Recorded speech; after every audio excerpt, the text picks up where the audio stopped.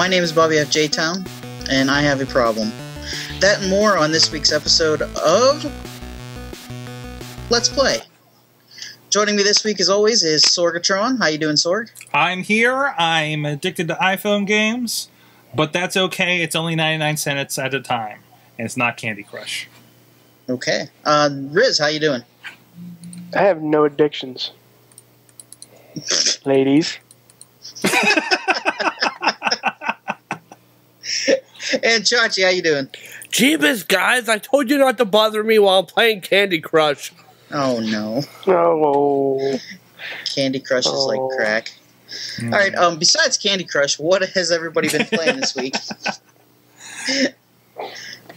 Uh, who wants to go first? Uh, I, uh, I, I went to play Halo 2, um, couldn't, Oh, um, because I don't have a hard drive in my Xbox and didn't realize it was needed. Um, so instead, I played 45 minutes of Halo 3, um, quit for the night, woke up the next morning to keep playing it, and my save game is gone. So I'm no longer playing Halo 3. Um, I unlocked the uh, Democrats and Republicans in NBA Jam on Fire Edition. And amazingly live tweeted it. That was great. Um, so that was fun. Um, in case you're curious, for the Republicans, uh, Sarah Palin is the three point shooter. And uh, for the Democrats, Bill Clinton. of course. Of course. wow. Yeah, Clinton goes long. Um, but uh, See what you did the, the best part of the entire experience was alley ooping to uh, Obama. um, but uh, yeah, it, uh, so and then I played some Call of Duty and uh, Candy Crush. Um, however, next week it will be Final Fantasy V um, Mhm. on my phone, which was released today Nice. um, and uh, if, if you if you have to rank them in order, Final Fantasy VII is my favorite Final Fantasy game, and uh, five is my second favorite, which was number two for Super Nintendo. You're 10? What's that? 10? Huh? What? Uh, Who, Bob- who said? Bobby Wait, did you did. say you Ten? bought 10? No, Who said? Who said ten? you did, Oh, I did. Yeah, jackass. right. Um, but that's it. Uh, that was funny. Good, Okay, so- good, uh. I've been playing uh, Battle Block Theater. They had a new Furbottom feature. Just like saying that name. For Uh. I, I started play, booting back up the, the Injustice game because of uh, Lobo and Batgirl are playable now. And in the future, I don't know if it started already, but Scorpion's going to be playable nice. and that's going to be weird. And while I was, we were, I had my Xbox was being occupied. I decided to start playing Ocarina of Time again. I love it. One of the It's- greats. One of my favorites. And I, I pissed Chachi off, and I'm sorry, Chachi. It, he, but she does look very manly. Yeah, it, but it it means you weren't paying attention to the game. I wasn't. Uh, it, Riz sent out a tweet um, last week. Last night, Was it last night? I think it was last night. Uh, last night, asking if uh, Impa from Ocarina of Time was a man. Um, and it irritated the shit out of me because a it means he wasn't paying attention to the game that he was playing, and b he raves about the game so much but doesn't know that. And, and in case you're curious, uh, uh, the race of Impa, and I forget the name of it right now because it's a really weird name. Um, but in the culture, there are no men. Hmm Uh, men are used for breeding. That's it. And uh, if a man actually does get born, it's because he's important and will be helped. Okay. That's your uh, the more you know with Zelda this week. Do do do do. Sorg, what'd you play? Um, again, iPhone. I was traveling a bit, so anytime I had downtime, uh, playing a lot of old school stuff. X Men arcade game. Uh, played through that. Uh, racking up the achievements there. Uh, playing through a good bit of Mega Man X. Um, I didn't know Final Fight was on the iPhone, so I bought it. Uh, so I'm I'm really kind of in this big thing of playing like old games on my phone. Like I'm just like looking through like what does Sega have, what does Capcom have, what does Konami have, you know, and yeah, everything's just a couple bucks, so why not, you know? So and I know um, I but want to maybe want to check out. I, I don't know. I haven't really played through the newer ones, but uh, I understand Sonic, uh, the original Sonic the Hedgehog's been remastered for iPhone. Uh, my brother was telling me so. Cool. Uh, Bobby, and don't forget the chat room. Yeah, I, um, I was just going to do the chat room here. Um, let me see. Uh, your brother Sorg has he replayed Batman Arkham Asylum uh, last week and beat it on hard and started playing Arkham City for the first time. Nice. Good choice. That's a great game. Yeah, I gotta get through Asylum, but I have to get a Windows on a machine that'll run it. All right, and I have played Dark Souls. I bought it last week on Xbox 360. How many For- ha- how many times for- have you died? A lot. I can't get past the second part. I got past the first part with the, the, the demon thing, and yeah, that game is ridiculously hard. Um, but I've been also playing uh, Mega Man 2, uh, played Scrabble, and nothing else. No, No. Bobby. Bobby, Bobby. What? Bobby, We are we are Nothing your friends, else. Bobby. Bobby. We are, we are here to help You're you. Bobby. you're among friends. All right. I played Avengers Alliance. For another 182 hours? No, no, not th- not quite that much. But I like am trying to unlock Juggernaut, and it's I got I'm one comic book away. Riz, I think you're one comic book away too. So somebody else has been playing it just as much as I have. no, Yes. I've just been lucky. I I know when to stop, sir. Well, yeah, I know when to stop too. 189 hours. That's what everybody What's says. that? That's what everybody, says. says, but nobody nobody knows how. Nobody knows how. I But I did I did get um, what's her name? So, uh, rescue. See, you don't even know I don't use her name. names. I, I do you don't even know names anymore. I did enjoy our Twitter conversation today, where uh, uh, uh, Adventures of the Lions and Candy Crush leads to heroin. It does. So It does. I mean, we, we learned a lot. No, today it on leads to Super Heroine Brothers. I uh, I was waiting to unlock the next episode uh, right before we started uh, recording tonight, and I did start twitching. So I am not the only one with addiction. Like I, I, I couldn't. I had to. I got to fix though. I'm good. All right. Am I the only one to play the challenge this week as well? Probably. Yoshi's Cookie. Yeah, Ah, crap! I wanted to so bad. I oh, I never I- liked the game.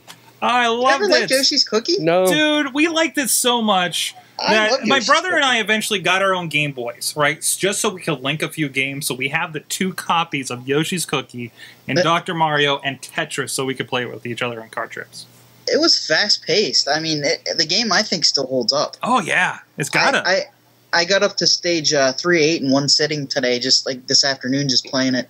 Uh, my my score was sixteen thousand ninety, which the scoring is kind of weird in that game because you're as you're building them, the faster you, I think the faster you get the level done, the higher your score should be. But it kind of takes away from like the uh, you know what version were you playing? Uh, a ROM Well, well, yeah, but what which uh, system? Because it was, it was on like all three NES. Nintendo systems. I, I, just It was played it on NES, NES. okay. Yeah. Because I mean, it's it's it's uh, there's a Super Nintendo version. We had it on the Game Boy, of course. Uh, I think a couple times we rented it on, on one of the consoles or something like Mhm. that. Just be like, oh, what's it look like in color? Oh, that's what that color is supposed that that cookie's supposed to be. Uh, you know, something like that. So, um, I it's uh, yeah, that that game. I, I couldn't imagine a puzzle game like that not holding up. So, and there's the Nintendo version there. There's Mario. Yeah, I don't, get, I don't think you get to see Mario in the uh, Game Boy version. So, um, but uh, yeah, yeah, I, I wanted to do kind of like a uh, video of like this was Yoshi's Cookie. Pull out the old Game Boy and see if it still runs. So, uh, but we'll see. Anyways, Bobby, what we got for next week's challenge? Uh, next week's challenge is an NES game called Astyanax. I don't know if a lot of you Oh are familiar no! with How do you spell that. it? Yeah, have you played that? A S T Y A N Y X, I think. Yeah, this. I was- had this game when I was a kid. you had it. I had it. Oh, this was an Oh, I unfortunate. think I know this game. This was an was- unfortunate rental for me. It was I'm a like, tough oh my god, what is this? You know, um, yeah, It that- is. It Go has one of the most useless weapons in a game ever. Oh yeah, this the spear. it was so useless. And then you Uh, got the sword and, or the axe, and you're like, "Yeah, I have power now." yeah. So- That's that's a good one. And so I, I presume it's up on the uh, virtual NES uh, site. Uh, I believe so. I didn't check that, but right. uh, I it probably is. It, it was a popular NES game back in the day. Really, really, that I, was I popular. think. Really, I remember it was well Not- advertised. Not really. Well, you know, it was all over GamePro, yeah, so that was about as good as it got. got that unless from unless paid you were a. Mario game, that's about as good as it got. So All right. All right, now it's time for things you should be made aware of. things Uh, you should be made aware of. Chachi, I believe you have something for us. Oh, which one is this? The ET. Oh, yes. Um, a company in Canada uh, is making a documentary based upon the urban myth that upon failure, um, Atari buried all the leftover copies of ET along with some uh, unused hardware prototypes and broken equipment in a landfill in New Mexico. Where it belongs. Um, I didn't know this was a myth. I thought this was like no, I thought it was real too. No, this is just an urban myth. This like okay. it's never Oh. been. Uh, Atari has never admitted to this, okay. um, and no one knows. And the only people that would know is Atari. Dude, they're completely Wow. finding Hoffa. yeah, probably Atari. Atari buried Jimmy Hoffa along with uh, one million copies of unboxed E ET. It's it's like a Jimmy Hoffa Jello salad. It's Hoffa, E- ET cartridges, sand. Um, but, uh, Pac-Man. no, Lined up um, Pac-Man. Uh, apparently, in 1983, uh, when ET was released and bombed, At- Atari had truckloads of the game that didn't sell, um, and they had a shipping plant or a, a production center in Texas, um, where that housed all of these games, along with uh, prototypes for video game equipment that they weren't going to use, and broken equipment that they weren't going to uh, release or uh, had to get rid of. Um, so apparently, they bought they trucked all of this stuff over to New Mexico, uh, where they purchased some landfill space, uh, dumped it all there, and covered it in concrete. Because the last thing they wanted at the time was other gaming companies to go there and see, well, number one, um, millions of copies of their newest game uh, buried. Um, and number two, uh, prototypes that they didn't think were going to work uh, and then be released. Mm. Uh, so uh, it was covered in concrete uh, to, to to be there for the next uh, thirty years. Um, and so, fire was? Uh, fire or Fuel Industries, um, which is a Canadian-based uh, game company and uh, film company, um, has permission from the New Mexican. Uh, what city is it? Uh, Ala Alamogordo, New Mexico. Um, he has the permission of the city commission to go to the landfill and basically uh, dig up these games as if they were dinosaur bones. Wow.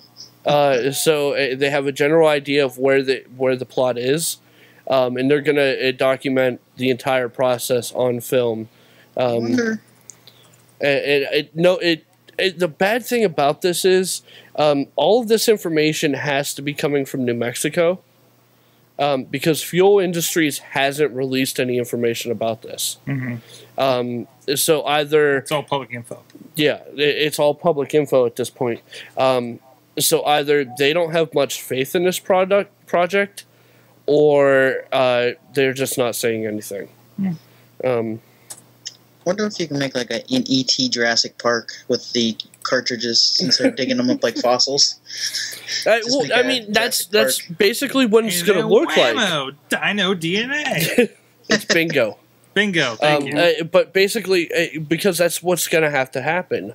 I, I, I mean, they dug a hole, they put all these copies in, and they covered it with cement. So the cement mixed in with all the boxes and equipment and stuff.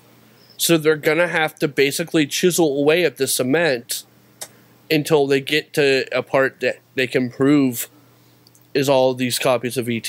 Mhm. Um, Interesting. so Hmm. yeah, Awesome. it, it could be. They- I mean, they have uh, they have access to the site for six months. That's Uh, not bad. They have enough time. Maybe Yeah. they'll, they'll be able to find it. So yeah, we will we will find out if Atari uh, hid all the extra copies of ET under their bed. And Jimmy Hoffa. Yes, and Jimmy Hoffa. All right. Um, our next uh, thing we, you should be made aware of: um, Bioshock Infinite, uh, one of the, one uh, early contender for Game of the Year for most for most of us, um, has a new board game coming out uh, from I think the company is Plaid Plaid Hat.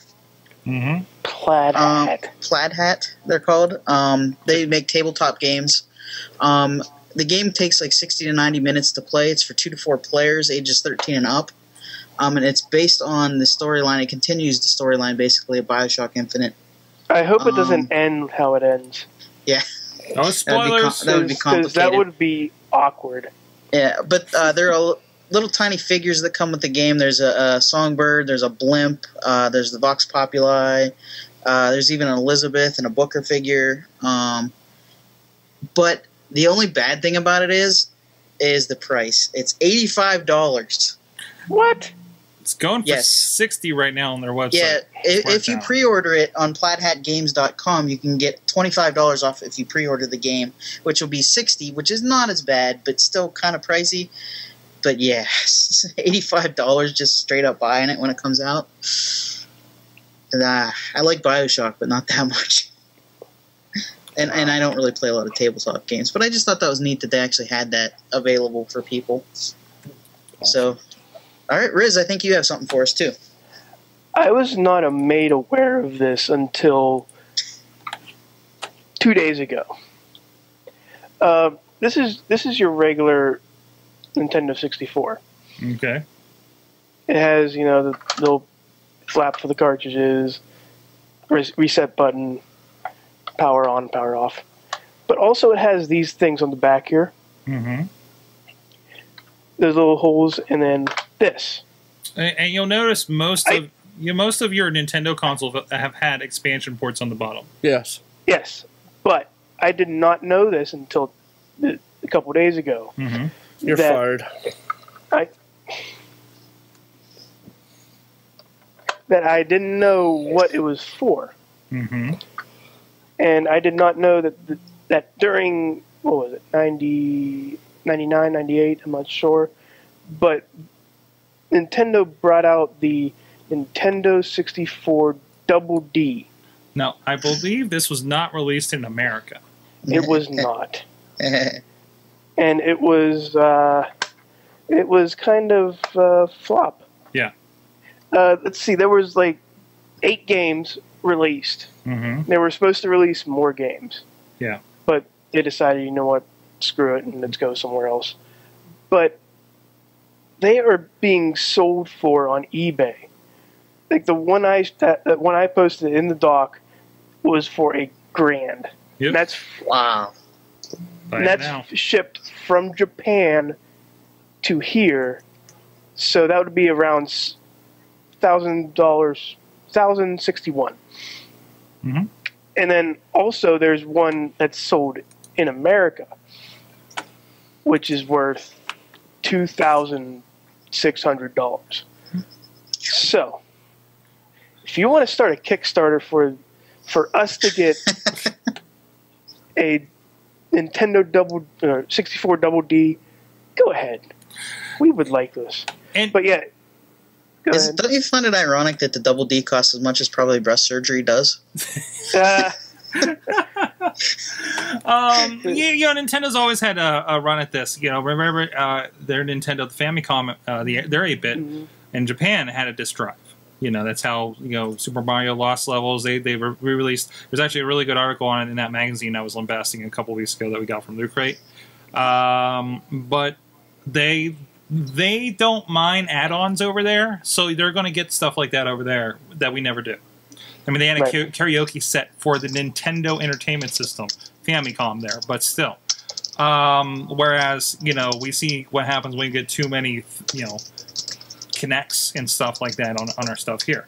Type type type type type type type type type type type. Um, so it's uh uh yeah that, that this was definitely one of those things they were promising like oh we're going to be able to do so much and these games are coming out and it never got here and it barely got anywhere one Japan. of one of the games that I was really looking forward to see was how awesome SimCity 64 would be. I wonder I'll, I don't know about that And uh, F Zero X, the expansion pack. Mhm. I've played F Zero, and I still don't know what the hell it do. yeah and it, it- I don't know what to do with the expansion pack when I get it either. But it was a little cool add-on, I think, but it didn't really pan out.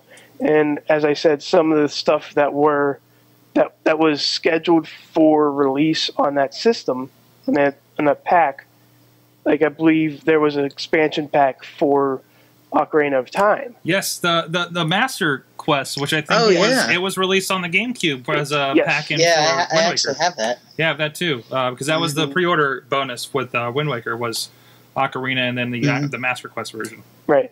that was never Uh, released. but yeah, that was, that was kind of cool to see. But and um, I'm sorry, I'm kind of late on the boat here, but it was kind of cool. awesome. All right, what's next, Bobby? All right, um, Riz, I think you have the uh, you wrote an article on the Delta Six Oh, controller for our first news story of the week. Uh, I, this, I have the question. I have a question for Chachi though. Okay. Okay.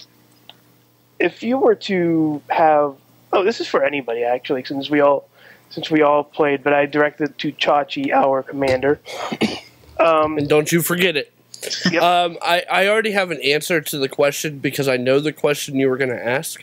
Um, Chris and I were already trying to figure out where we could get five hundred dollars from um, to get the uh, the two pack. Kickstarter.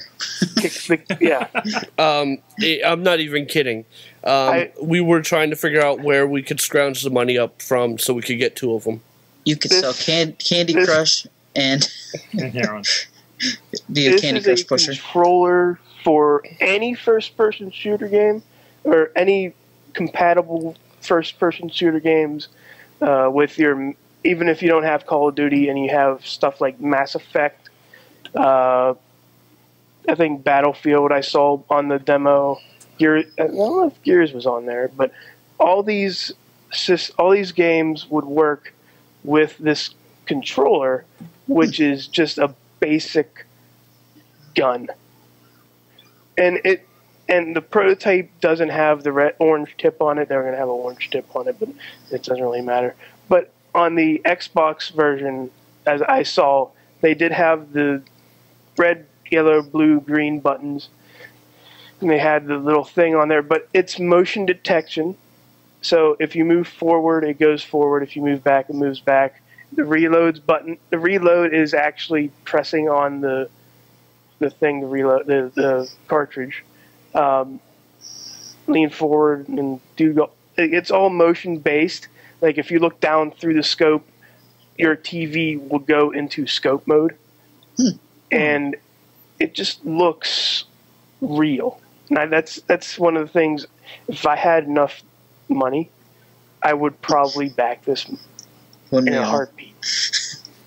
but I don't because I don't. make That's a much. really cool. I uh, It's a cool really cool idea. yeah. we were we were trying to uh, scrounge up the money for the one that includes the uh, the foam case Mhm. to carry it in.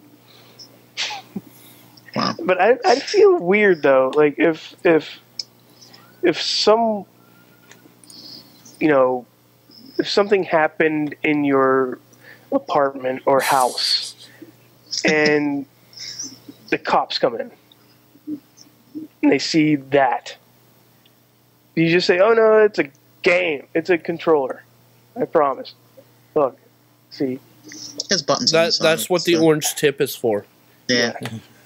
Uh, the guns orange have tip is to stop kids or anyone else from uh, acting as if it's a real gun, Mhm. and it Mhm. lets it lets everyone who sees it know that it's not a real gun; it's a toy. Right. Okay. But yeah, I I want one. I want I want I want more than one. I want a dual wield gun. akimbo uh, Delta Six controller. I don't think it works Yes. like that. no. Oh. well, That's it- they're both motion controllers. So you couldn't move one gun because you would start going right, and then move the other gun, you'd start going left, Sure. and then the game would be confused and it would freeze. Split screen. All right. Um, our, our next story is about a an, a brand old game. Uh, Fable Anniversary Edition's teaser trailer was announced or was released today, which is not much of a teaser trailer because it basically said yes, it's coming out. Um, it's going to be for the Xbox 360. Um, the original Fable, uh, which I never got to play too much. I know you guys said you didn't either um, because of Mm. it being on the, the original Xbox, which I don't think a lot of us had. Well, at the time I was a PC gamer, so Yeah. Um, I, I I had a PS2 at the time. My how the ti- times have changed. I'm an Xbox fanboy through and through Yeah. now. And I've only Um, played but- a little bit of two myself, so But yeah, uh, the trailer they released looks really cool. Um, the bad guy, the Jack of Blades, uh, is back. He says menacingly in the trailer. Um, but do you think this is all Lionhead's going to announce at E3? I mean, they didn't announce this at E3. Do you think they're going to have a new game for the Xbox One? Do you think there's going to be a new Fable for the Xbox One? it could be. It depends on where they're at the, in the cycle. I mean, those guys. Mm-hmm. Um, I mean, this is a company notorious for uh, over promising way too early. Mhm. So let's see if they learned by now. You know, or are they So- going to have a Milo game? Wasn't that his name, Milo? That's right. There's Milo on the Kinect. So maybe we'll get a uh, a Milo two, uh, even creepier. I guess. Uh, all right, Chachi, I think you have the last story for us. I do, and we're running out of time. Uh, uh, uh, basically, I did a well composed, well written article about uh, uh, the point everyone is missing about the used games uh, argument. Really putting over your writing ability there. Uh, only on certain articles. Okay. Um, I, I realize that my normal everyday articles are piles of crap for the most part. Um, I, I mean, you get the really info- throwing yourself under the bus well, there. well, I mean, you get the information out of them, but it's not a a, a flowing no, work. no, we You understand that's how articles on- these Um, sites work. yes. We- you don't have uh, to defend it. But either this this is a, uh really good look at the uh, right side of the argument, the Mhm. correct side of the argument, as uh, uh, uh, why Xbox is allowed and why PlayStation is allowed to skip or uh, to make a ruling on the used game environment. And this is your uh, Xbox One used games and the point everyone is missing or don't simply don't care about. Yeah, um, which is over on insertcointobegin.com. So All right. Um, our boss boss battle, real quick here. Um, what were your all time favorite E3 mo- mo- moments? Because E3 is next week, gentlemen. uh, honestly, Oh. until I started the site, I didn't pay attention to E3. Really? Um, I paid attention to console news that was coming out, but other than that, I really didn't care. I mean, you're probably like more passive before, Right. right? Um, I knew nothing PC wise was going to be released Hmm. uh, at th- E3, so um, why bother? Uh, see, I had I, I I've been watching. I just love these announcement videos myself. Mhm. Like you know, I watch all the Apple ones and everything like that. Um, the Kinect announcement really got me excited for. it. You know, I was like, because I remember like the demo they showed. It was a fitness game, and it actually saw like the fabric of her shirt hanging off her body. You know, and this before I understand what the technology was, and now we know probably far too much about how the Kinect works. it kind of destroys the entire magic of the entire thing. Um, but it's still, I think, is one of those things where like, oh wow, this is something different, and oh man, Nintendo's in trouble, and and now we see where we're at with that, and I'm uh, even more excited to see what Kinect's going to do now that everybody will have it. So that's not just a, pa- a pa- add-on; it's a pack-in. It's it's not it's not a it's not a uh, a power glove. It's a zapper gun, and you know. So, Bobby, Um, my favorite moment was when they announced that uh, Final Fantasy 13 would be playable on Xbox 360. Um, I was I was overjoyed because I was a PlayStation fan and I didn't think there I would ever play Final Fantasy again. And the game kind of disappointed me, but I was I was happy at the time. Um, and another announcement was um, Skyward Sword when they announced that. I was Mhm. happy about that Mhm. too on, on Wii, even though I have never played it yet. so, It- they Yeah, don't hold up not to missing bargains very, But- very well. Um, but I mentioned this last week. This happened pre E3 last year. The, the the the fact there was a hologram on my screen from Konami, I couldn't believe what I was watching. I think Bobby Bobby, you were there, right? Yeah, yeah. Yeah. We were just watching this in awe of of hologram. I forget what his name was, uh, but we were thinking like Tupac was going to come out, maybe hologram Biggie. Wasn't it Hideo? Kojima? Hmm? Was it Hideo Kojima? Yes, Okay. I think that's who it was. But it was still one of the oddest moments I can think of, and it was it, it's moments like that that I get excited for because you get well, and you get E3 announcements like, "Hey, everybody, look at my thing. Hey, look over here, it's this thing." But he did it. They did it. Konami did it one step better than anyone else did, and it, I don't know if it's because they didn't have a presser or not, but it was it was fun. It was a fun little you know ditty where they, he just announces and then just disappears. So it was great creepy. from Alright, well, from the um, chat room. Uh, You got one in the chat room? I got one in the chat room. Uh, Alex Card says the Halo 2 announcement was a big one for him. Of course it was. Uh, he says he'll do one better. Say uh, least favorite. Remember the year they took all almost all the glitz of E3 away? Yeah, that was terrible. I was like, why did they do that? I don't know because they were stupid. yeah. So see how that worked. Now people are just putting stuff in the parking lot. Yeah. Mhm.